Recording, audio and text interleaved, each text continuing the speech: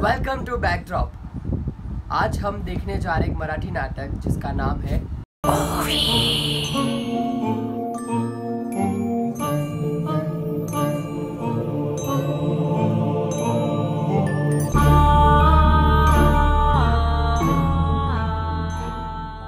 तो मैम आपके लिए ये क्वेश्चन है कि आपको कभी खुद के कैरेक्टर से उतना डर लगा है?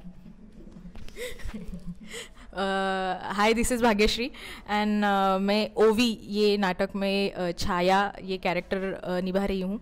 यस yes, जैसे आपने पूछा कि uh, आपको कभी डर लगा क्या? हाँ मुझे डर लगा। लेकिन uh, कब डर लगा वो मैं एक्सप्लेन uh, करती हूँ जब ब्लैकआउट होता है। और ये साइड से वो साइड जाना होता है तो बीच में इतने सब इतने सब कुछ यानी बहुत कुछ होता है बैक स्टेज में और हम लोग बहुत टाइम उसको धड़कते फड़कते हम लोग को कुछ भी होता है। उस वक्त सिर्फ़ मुझे डर लगा क्योंकि मैं और पूजा ये दो कैरेक्टर है कि जो स्टेज पे कहाँ से भी आते हैं एज यू आपने देखा। तो इसीलिए वो जो ब्लैकआउट की जो है वो घबराहट वो ज़्यादा है कंपेरेटिवली कि स्टेज पे परफॉर्म करना। डर डर नहीं लगा। हमारे फनी मोमेंट्स बहुत होते हैं। अंधेरे में यहाँ से वहाँ कोऑर्डिनेट करना होता है कि दोनों दो चीज़ हो रही है जो सामने दो अलग अलग विंग में लेकिन वो साथ में होनी चाहिए। तो दोनों हम कोऑर्डिनेट करते पीछे से कि ऐसा ऐसा। तो वो हमारे लिए बहुत बहुत बोलते हैं ना अलग होता है नया होता है। कि वो कैसे करें। और क्योंकि इस इस नाटक में सेट और म्यूज़िक और लाइट्स ये तीनों का जो सिंक्रोनाइजेशन है ये इम्पोर्टेंट है। मतलब सिर्फ़ हम लोग सेट करेंगे तो नहीं। जब लाइट होगा जब म्यूज़िक आएगा जब वो क्यू आएगा उस पर हम जब करेंगे तो ऐसा लगेगा कि एक्चुअल सेट वो उस म्यूज़िक पे उस लाइट पे नाच रहा है। वो हो। रहा है चीज़ें हो, रही है। अगर आप ओवी नाटक देखोगे तो वहाँ पे एक बहुत अच्छा मैसेज दिया है लास्ट में। तो अगर आप उस मैसेज से रिलेट करते हैं तो आपको कभी भी डर नहीं लगेगा। मतलब आप आ जाओ ओवी देखने के लिए। हां सो तुम्हाला तो मेसेज कळेल तो काय तर मी तो सांगणार नाही तुम्ही परत या बघायला। आणि तो मेसेज जर तुम्ही ऐकलात ना तर नेहमी आमच्याकडे असं ट्रेंड सुरू झालेला की मी बोलले नाही मला भीती वाटते तर तुला सांगितलं ना ते and that girl use to repeat that entire sentence now I won't tell that so please do come आणि ते वाक्य ऐकायला या. तो आपके कुछ सीन्स ऐसे हैं जहाँ पे आप बहुत अलग अलग बहुत एब्रप्ट जगह से बाहर आते हैं और ऑडियंस को पता भी नहीं चलता वो जो एक एक सेकंड का ब्लैक आउट है एक सेकंड में आप अलग जगह से। तो उस सीन में उस सीन को कभी आपको बाहर से देखने का आ, ये मन हुआ कि मैं कभी एक बार बाहर से देखूँ ये सीन की कैसा हो रहा है? बेसिकली बहुत से सीन्स हैं ऐसे कि मुझे लगता है कि वो मैं बाहर से देखूँ। लेकिन कंपैरेटिवली बाहर देखने से अच्छा मुझे करने में बहुत मज़ा आता है क्योंकि मुझे ऐसा लगता है कि डरने से अच्छा डराना है। और हाँ अभी आपने जैसे बताया कि ओवी ये अभी गुजराती में भी प्ले आ रहा है तो डेफिनेटली हमारे एक्सपेक्टेशंस बहुत है क्योंकि जैसे इस प्ले का वन एक्ट प्ले था और वो जो टीम थी वो जब हमारा प्ले देखने के लिए आई थी तब वो ऐसे मेस्मराइज थी कि अरे यार तुम लोग ने क्या किया है? एंड वी आर ग्लैड कि हम लोग यहाँ पे है और आपको देख रहे हैं। वैसे मुझे भी ऑफकोर्स एक्साइटमेंट है जब गुजराती प्ले होगा। तो हम लोग फिर से हम लोग जाएँगे।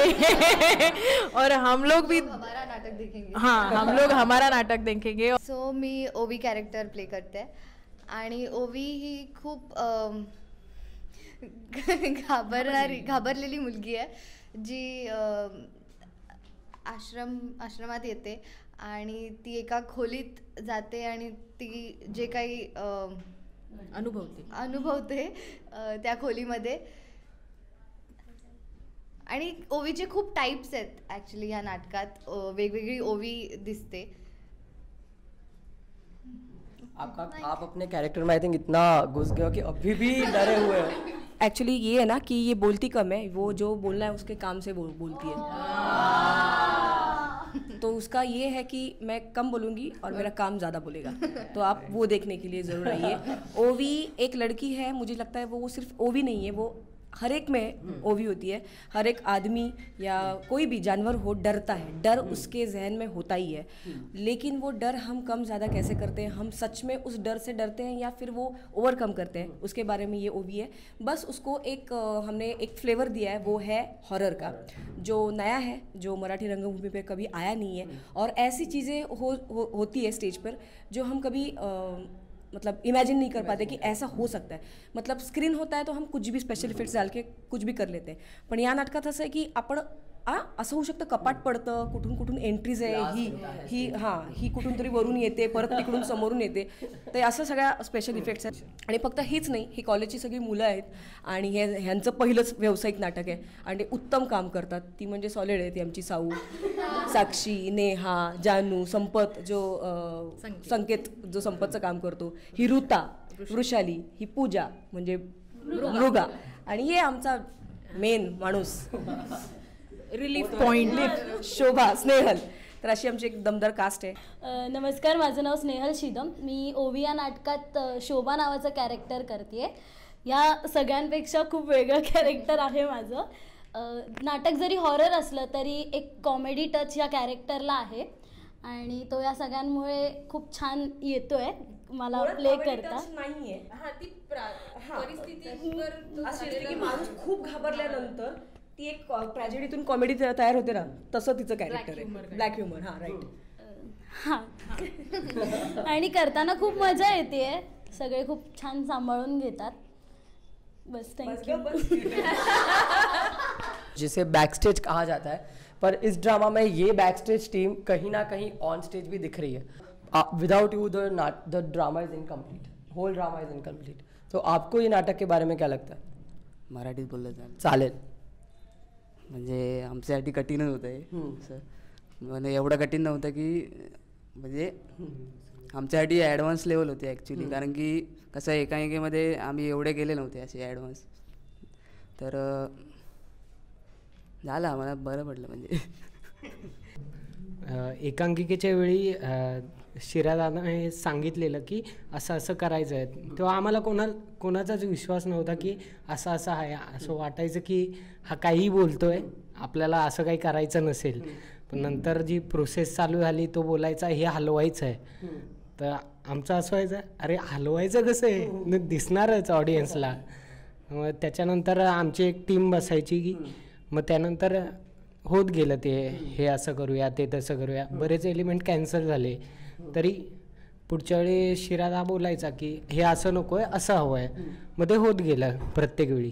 बहुत एक्सपीरियंस मतलब फ़र्स्ट टाइम ऐसा हॉरर प्ले देखा तो मैंने बहुत एंजॉय किया आपको वो हॉरर यानी डर डर वो फील हुआ राइट मतलब इतने तो मुझे मुझे पता कि मुझे किसी बात का डर नहीं है बट ये देखते हुए मुझे थोड़ा डर लग और सबने एक्ट किया बोरिंग वगैरह सबने बहुत ही अच्छा एक्ट किया और अनिकेत पाटिल ने डायरेक्शन किया। बहुत खूबसूरत मतलब मुझे लगता है सबने जाके देखना चाहिए सबको बहुत पसंद आएगा please please please do like comment and share our video subscribe the channel hit the bell button and get reminded every video Mahesh Waman Manjrekar सादर करीत आहे